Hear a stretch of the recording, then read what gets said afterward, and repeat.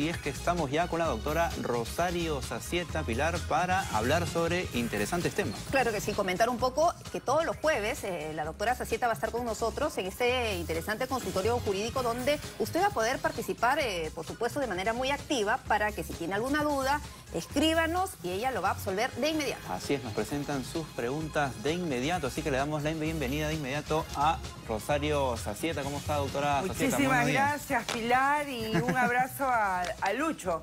Eh, encantadísima de estar en ATV Más Noticias.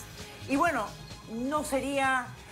Es la mejor fecha para empezar, porque el día de ayer hemos tenido las mujeres un espaldarazo por parte del Congreso de la República. se aprobó por fin el proyecto de acoso sexual. Lo vamos a explicar uno de estos jueves.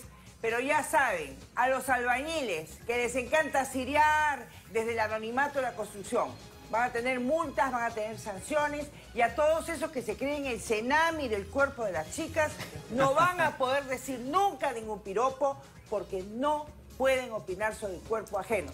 Si quieres opinar, tú varón, sobre tu barriga, anda a opinar sobre tu barriga, pero no sobre el cuerpo de la chica. Así que eso lo vamos a ver y Rosario, vemos comenzó que ahí... La, comenzó la señora Ley, este, Así es, Pilar, pero que tiene que ser así, ¿ah? Pero es que tiene que ser así. Porque muchos creen que eso es normal, que uno le dice mamacita en la calle, lo rico le manda beso volado. ¿Por qué tienes que decirle que rico popó? ¿Quién eres tú para, para sobre todo la la vergüenza de las adolescentes, las chicas de colegio, que muchas veces están a tres cuadras y tienen que hacer un, eh, digamos, tener que... Evitar pasar por ahí. Evitar pasar y se tiene que comer 15 cuadras para poder llegar a su lugar de destino. ¿Por qué? Porque hay construcciones que molestan y fastidian. Entonces es bien complicado. Rosario, ese tema, como tú bien lo has dicho, vamos a tratarlo porque hay muchísimas aristas de cómo ver este tema y ver si es que realmente se aplica o no eh, las sanciones que se señalan en este tema del acoso callejero.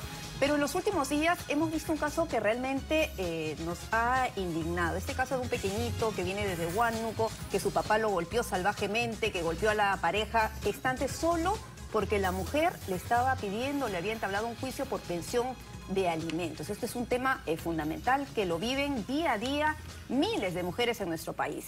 Yo pensé realmente que ya no iba a ser necesaria eh, la presencia, quizá un poco mía, o este asesoramiento legal.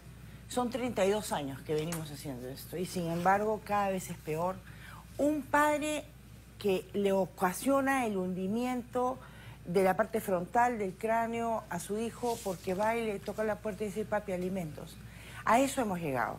Por eso a ti, que, a ti mujer, que básicamente son las que piden alimentos, hoy vamos a ver este tema, que es un tema que compromete la salud, la vivienda y la educación de los chicos. No hay peor varón que aquel que no le da alimentos a sus hijos. Es más delincuente aquel padre que no le pasa alimentos a sus hijos que aquel que rompe con una bujía la luna de un vehículo. Así que en ATV Más Noticias hoy vas a saber, y pasa la voz, agarra tu lápiz, tu papel, tu lapicero, y vamos a ver cuáles son los requisitos para que tú puedas hacer una buena demanda de alimentos. En primer lugar, tiene que estar reconocido por la madre y por el padre, acreditada con la partida de nacimiento, eh, yo quisiera ir a la partida de nacimiento para que se vea, ajá, aquí, ¿no? Que tú, mamá, tienes que haber firmado a tu hijo. No sé cómo es. A ver, vamos a ver, yo estoy ahorita empezando, ajá. Tienes que haber firmado a tu hijo. Si tú no firmas a tu hijo, tú no puedes hacer la demanda de alimentos. ¿Por qué no puedes hacer la demanda de alimentos? ¿Podemos retroceder, porfa?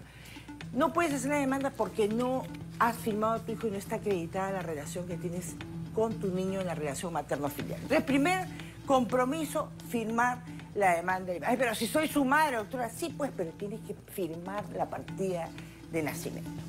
Entonces, está reconocido por su madre y por su padre, obviamente. En segundo lugar, vamos al, número dos. Hay que retroceder.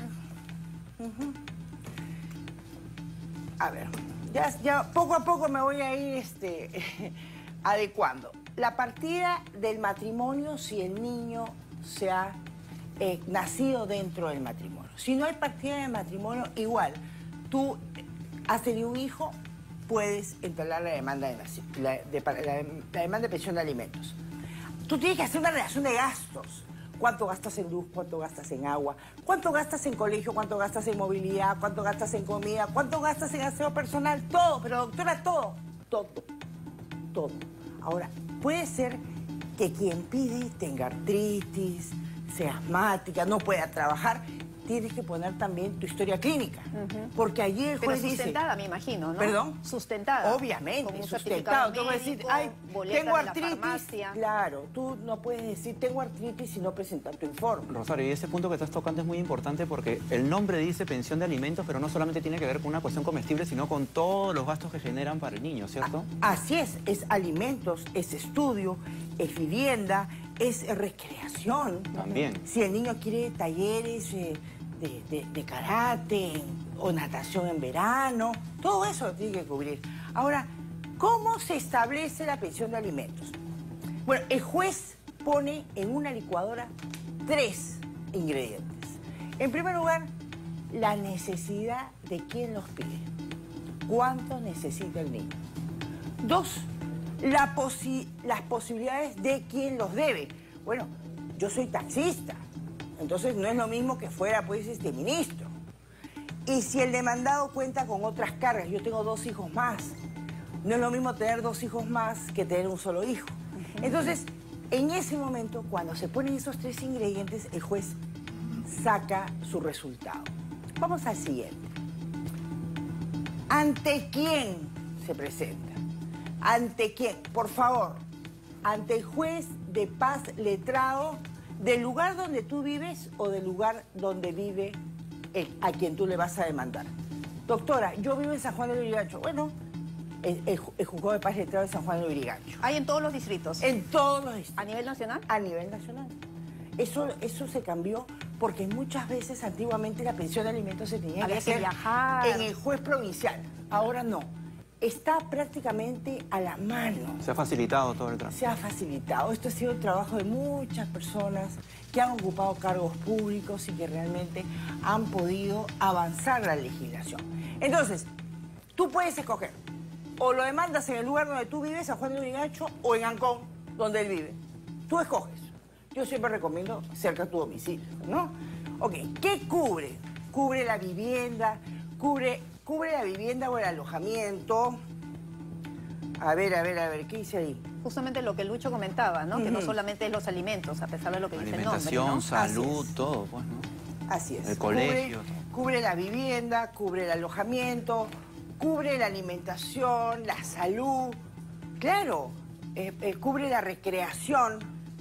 Es decir, cubre, cubre todo lo que significa la vida de un niño. Un niño y, ojo, cuando ustedes pidan, pidan que las mensualidades se paguen en forma adelantada. Porque si, si tú vas a, empezamos marzo, el papá o el, que debe pagar los alimentos no va a pagarle pues al 30 de marzo, porque el niño come desde el 1 de marzo. Ahora, me viene a la mente, Rosario, y te quiero interrumpir antes de que pases al otro punto sobre este tema, el caso de Cristian Meyer y Marisol Aguirre. Sé que son situaciones totalmente diferentes, pero en un caso similar, en que la mujer y el hombre trabajan, o sea, ¿quién tiene que pagar eh, los gastos? ¿La mujer? O sea, el hombre a quien estás demandando en un 100% o también la, mamá, eh, la mujer como mamá tiene que asumir algún tipo de responsabilidad? No hay que ser fresca tampoco. O sea, es decir, si la madre trabaja y es ejecutiva, en primer lugar, tú no le puedes decir al papá de tu hijo, págame rímel, ¿correcto? O págame el spa. Eso te lo pagas tú, porque la obligación es con los hijos. Ahora, en los hijos, en los hijos, depende, el juez dice, bueno, si el señor gana más, tendrá un 60% de los gastos. Y la, la mamá, un 40%. Pero si la mujer es congresista, y el papá es taxista, será la mamá la que tenga que asumir un poco más. Otra cosa, no me empiecen a chantajear, no ves a tus hijos si no pagas alimentos. las orejas no tienen que ver nada para tomar sopa. El papá puede ir a visitar a los hijos. Sí, doctora, pero no paga. Lo importante es que vea a sus hijos. Hay muchas mamás que matarían para que el padre les dé un poco de amor. ¿Correcto? Rosario, Sí. ¿y qué es lo que podría pasar con este padre de familia, como bien has dicho, irresponsable, que no cumple con el pago de pensión de Ah, alimentos? primero demandarlo. Sale la sentencia. No cumple la sentencia, nos vamos al registro de deudores alimentarios morosos. Esta fue El ley- REDAM, ¿no? El, el- REDAM. Esta ley me encanta. ¿Cuántos hay eh, en este registro? Hay como ahora? dos mil. Hay como dos mil. Pero vamos a ver la relación de deudores. Este es, tú entras a, a, a Como REDAM. Infocorp, ¿no? Claro, y esto lo, lo ve el, el- el Poder Judicial, es quien tiene a su cargo este asunto. Vamos a ver el número 10. Este es un documento público, así que yo no estoy, yo no estoy haciendo nada. Eh, ahí está el, el no- el nombre y, y la, ¿cómo se llama? La foto de la persona. Se llama Eduardo Alfonso Acoleiva. Este señor, no sé si ustedes pueden acercar, Es un deudor. Ahí es un deudor datos, ¿no? de pensión alimenticia. Entonces, esto fue, fue es un proyecto de ley, una ley de mi autoría.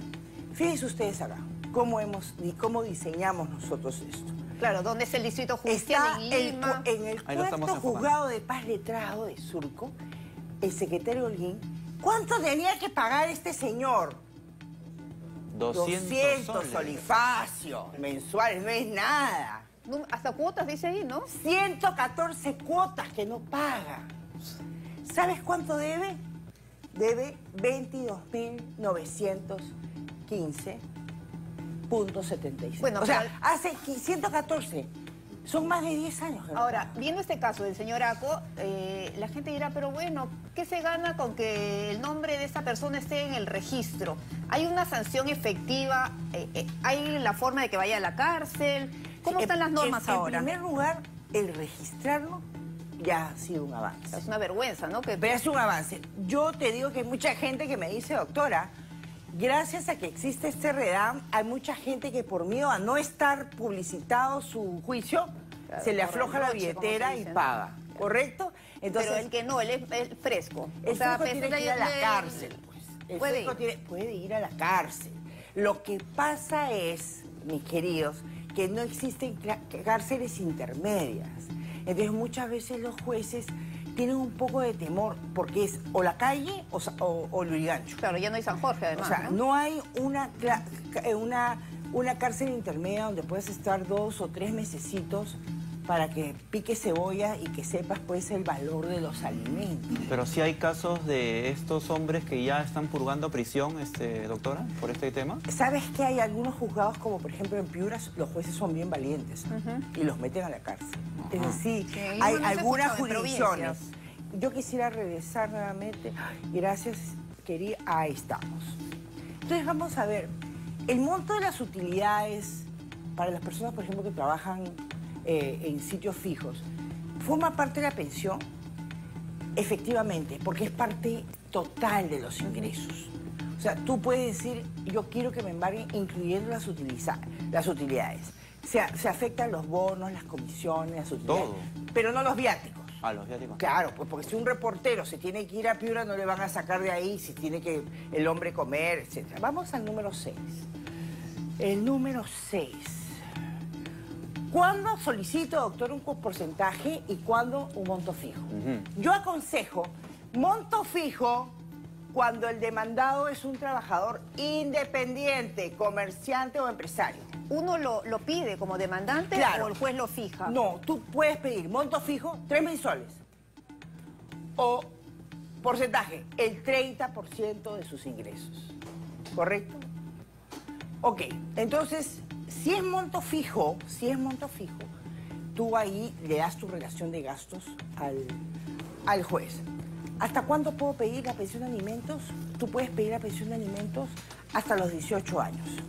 Después de los 18 años, cuando se cumplan dos requisitos, siempre y cuando el alimentista, o sea, el, menor el, o el hijo, esté cursando estudios superiores y lo esté cursando en forma satisfactoria. Porque si lo van a jalar, el papá tiene todo el derecho para pedir la extinción de la pensión de alimentos. Me dicen que ya terminé.